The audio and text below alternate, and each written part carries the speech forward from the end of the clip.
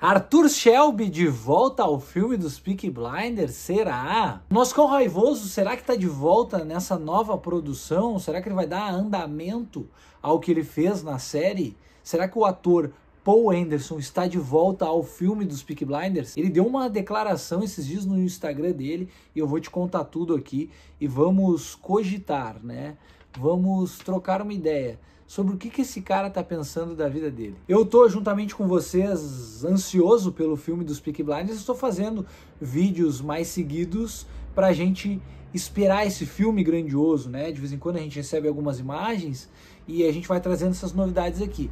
Dessa vez eu quero trazer um assunto que ocorreu na última semana que eu achei bem interessante, bem importante, porque eu, eu geralmente falo aqui para vocês que para mim o Thomas Shelby não é o Thomas Shelby se não tiver o Arthur, seu cão raivoso, seu irmão ao lado. E eu tenho muito medo da gente receber um filme sem o Arthur.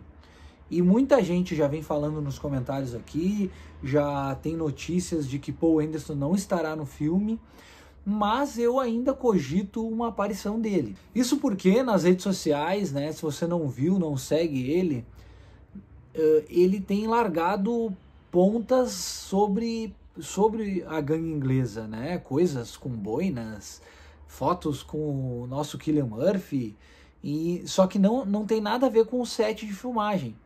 Então, no meu entendimento, o ator Paul Anderson, que já tinha dado declarações como hoje eu só sou um viciado por conta da série Peaky Blinders, botou a culpa de ele estar viciado na, na estar viciado, né? Você sabe no que, né? Não posso falar muito aqui, mas uh, ele botou na direção, na, na, na, produção, que hoje, sem fazer Peaky Blinders, ele está numa merda por causa do personagem que ele fez. Trouxe muitos gatilhos e ele se afundou nisso tudo. Então a grande questão é se ele daria o braço a torcer e voltaria para o filme, conversaria com o diretor, ou se o diretor chamaria ele mesmo com essas polêmicas todas. Vamos lá, nas últimas semanas ele, o ator Paul Anderson que já vem postando coisas bizarras, ele tem, se você vê nitidamente no rosto dele, é um cara que envelheceu muito em pouco tempo por causa desses tóxicos e tudo mais.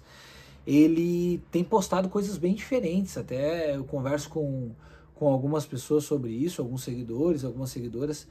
Uh, que ele tá numa fase meio bizarra, assim, a ponto de ou ele está perto de si, ou ele tá de volta no filme e tá jogando para os fãs alguma, algumas migalhas pra gente colher. Na última semana ele postou uma foto com o Killian Murphy no set de filmagem de Peaky Blinders, mas da série, não do filme. Uma foto antiga, bem antiga até, os dois bem mais jovens, um de frente para o outro e a legenda era I love you brother. Somente isso. Mais nada. Ele não explicou isso, ele só postou uma foto como se fosse o Arthur e o Thomas Shelby do elenco do, do set de filmagens da série e deu. Aquilo ali abriu margem para os fãs pensarem muitas coisas, entre elas que ele está gravando juntamente com todos o, com todo o elenco o filme, que ele teria uma aparição, nem que se fosse breve. Mas por outro lado, a gente tem uma consciência de que aquilo ali pode ser um aviso, né? O cara trabalhou na série inteira, agora ele, em tese, na segunda opção, ele não seria chamado para a série. A depressão pegou o cara e ele está cada vez mais triste com aquilo. Então ele está postando, talvez na hora da postagem está chorando. A gente não sabe o que se passa por dentro da vida dele. Mas o que ele demonstra nas redes sociais é cada vez mais parecer um guri. Um guri que não sabe mexer na rede social, ou um guri que posta em momentos de devaneios, né, de loucuras, de, sabe? Uh, no momento que ele tá muito chapadaço, não sei. Então, depois dessa postagem, ele postou, por exemplo, coisas bizarras como um vídeo dele como Arthur Shelby de inteligência artificial, tipo boinas, várias boinas caindo no meio de Birgman ele caminhando em um cenário em que não existiu na série e que imagino que não vai existir no filme também, era muito um, um, cenário de IA mesmo. Então são duas postagens em sequência de um cara que participou da série e até então não foi citado, não tem foto dele vazada dentro do set do filme. Diz aí, eu gostaria muito de ver esse cara, esse cão raivoso, ao lado de Thomas Shelby novamente, né? Imagino que você talvez aí uh, uh, queira né, rever ele, né? Se tu viu a série inteira, provavelmente tu, tu gostaria muito disso. Só que as fotos vazadas até então, eu vou botando na tela e você vai dando uma olhada, são todas de novos novos atores e novas atrizes, né? O, o caso do Tim Robbins, da Rebecca Ferguson, do Barry Coogan. Então esses novos nomes estão aparecendo muito em cenas vazadas, em, em fotos vazadas por enquanto. Talvez temos cenas vazadas daqui a algumas semanas, porque as gravações estão a toda. Mas logo, logo a gente vai ter uma resposta sobre isso. No meu entendimento, ele não está no filme, tá? Acho que ele não está de volta. Acho que a direção cortou ele mesmo por ele ter dado com a língua nos dentes, ter xingado a direção por motivos que não são válidos, né?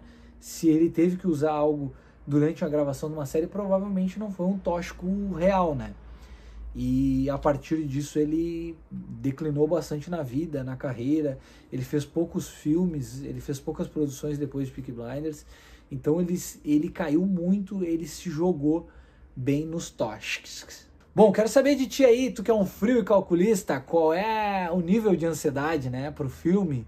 A gente vê muitas imagens, mas ainda não tem um trailer, não tem cenas vazadas, não temos grandes entrevistas ainda sobre a produção. Então, tudo que a gente está fazendo aqui no Pipoquinha na Manteiga é conjecturar. Por isso, você deve ter visto nos últimos meses aí vários vídeos, né? Notícia que o Barry Coogan uh, pode ser o, o, o filho do, do, Thomas, pode ser o filho do John, o filho do Arthur né? Quem é esse cara que apareceu do nada? Até queria me retificar aqui como eu não tinha pensado na hipótese de que o próprio Barry Coogan possa ser o próprio Duke Shelby, né? Por ser um cigano, por ter vindo na sexta temporada como um cigano, usar o lencinho também. Todas as características que eu botei nesse vídeo que eu vou deixar aqui em cima uh, também se aplicam ao Duke. E na, nesse vídeo que, que eu botei aqui em cima, eu falei de todo mundo, menos o Duke Shelby. Então fica também validada essa essa teoria de que Barry Coogan possa ser Duke Shelby cuidando da família enquanto Thomas está de fora tentando fazer a sua vingança com as próprias mãos. Até a família descobrir que o Thomas está vivo, óbvio. É isso, minha gente. Obrigado pelo vídeo de hoje. Sigam o Pipoquinha na Manteiga, que aqui é o canal dos malditos Peak Blinders no Brasil. Se tu quer saber qualquer novidade, é aqui que tu vai saber em primeira mão. Beijo para vocês. Até o próximo vídeo. Tchau, tchau.